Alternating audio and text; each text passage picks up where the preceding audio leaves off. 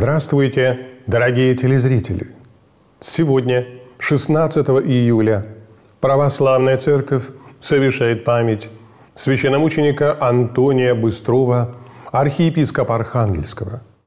Архиепископ Антоний в миру Николай Михайлович Быстров родился 11 октября 1858 года в селе Нюба Сольвычегодского уезда Вологодская губерния.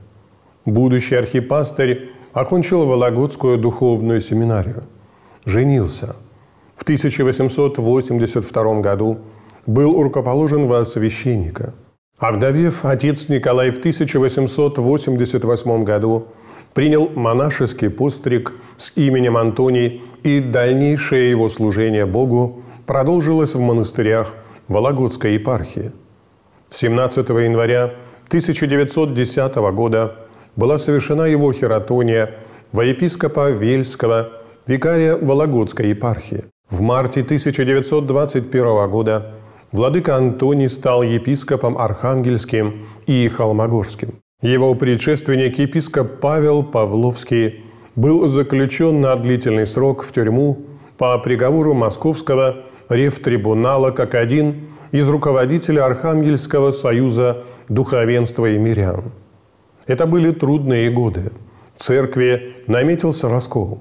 Вспыхнувшая гражданская война захлебнулась людской кровью. Свергнутая кое-где советская власть вновь стала утверждаться, в том числе и на земле Архангельской. Следы этого утверждения обозначились расстрелами ею недовольных, концлагерями и лагерями принудительных работ. Сердце владыки сжималось от боли к этим страдальцам – не раздумывая, он начал помогать в темницах сущим.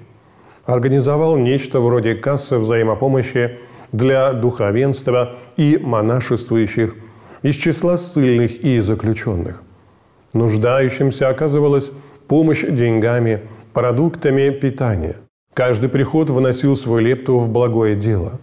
Горячо откликнулись православная архангельская епархия на воззвание святейшего патриарха Тихона – помочь голодающим. Преосвященный Антоний нашел такие слова для своей паствы, что переводы с пометкой для голодающих по Волжье пошли от церквей монастыря Архангельской епархии не только на его имя, но и самому патриарху. Чуть больше полугода прошло с тех пор, как епископ Антоний возглавил Архангельскую кафедру, а уже был взят властями на заметку – 27 декабря 1922 года владыка Антоний был выслан в Нарымский край на три года. Наказание архангельский архипастырь отбыл полностью без скидки на сан и свой 67-летний возраст. В начале 1926 года епископ Антоний возвратился в свою епархию и сразу же принялся за продолжение того благого дела, которое было прервано ссылкой – Монахини и прихожане в церквях вновь начинают сбор денег для заключенных. Масло, крупы, муки, одежды. Его квартира стала тем местом, где пребывавшее в ссылку духовенство могло получить деньги, продукты питания, одежду.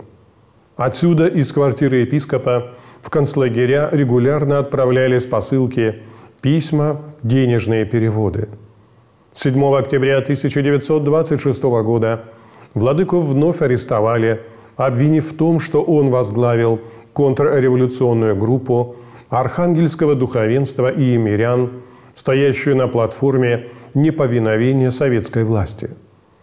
Через некоторое время из тюрьмы его освободили, поскольку благодаря его преклонного возраста не может уклониться от следствия и суда – 4 февраля 1927 года особое совещание коллегии ОГПУ вынесло решение прекратить дело, так как очень многие заступались за епископа. Вскоре епископ Антоний получил указ из Священного Синода о возведении в сан архиепископа всего Северного края, в который кроме Архангельской губернии входили еще Вологодская, Северодвинская губерния и автономная область Коми. 4 декабря 1930 года состоялось чаепитие в праздник введение во храм Пресвятой Богородицы. Вместе с владыкой разделили праздничную трапезу ссыльные епископы Иннокентий Тихонов, Тихон Шарапов, весь клир церкви, все ссыльные священники, кто был на богослужении. Не знал владыка, что эта праздничная трапеза в его жизни последняя, как и Рождество, и крещение того года. Арестовали его 23 января 1931 года. Плохое питание, вопиющая антисанитария подорвали и без того слабое здоровье архипастыря. 16 июля 1931 года врач тюремной больницы констатировал наступление смерти. Тюремная камера стала последним пристанищем архиепископа Антония Быстрова. Тело было предано земле на Вологодском кладбище. Спустя некоторое время владыка был перезахоронен на Ильинском кладбище. Как свидетельствовала народная молва, со всеми почестями, какие смогли оказать в ту тяжкую годину любимому архипастырю. Дорогие братья и сестры, сегодня также совершается память святых. Мученика Иокинфа Римского празднуется перенесение мощей святителя Филиппа, митрополита Московского и вся Россия чудотворца, преподобных Анатолия Печерского в ближних пещерах и Анатолия Печерского, затворника, в дальних пещерах благоверных князей Василия и Константина Ярославских, святителя Василия епископа Рязанского, преподобных Иоанна и Лонгина Яренгских, блаженного Иоанна Христа ради Юродивого Московского, преподобного Никодима Кожеезерского, мучеников Диадима, Евлампия Асклепиадота и мученицы Галендухи, мучеников Мокия и Марка – преподобного Александра Константинопольского, обители неусыпающих первоначальника, святителя Анатолия, патриарха Константинопольского, празднуется обретение мощей исповедника Сильвестра Альшевского архиепископа Омского.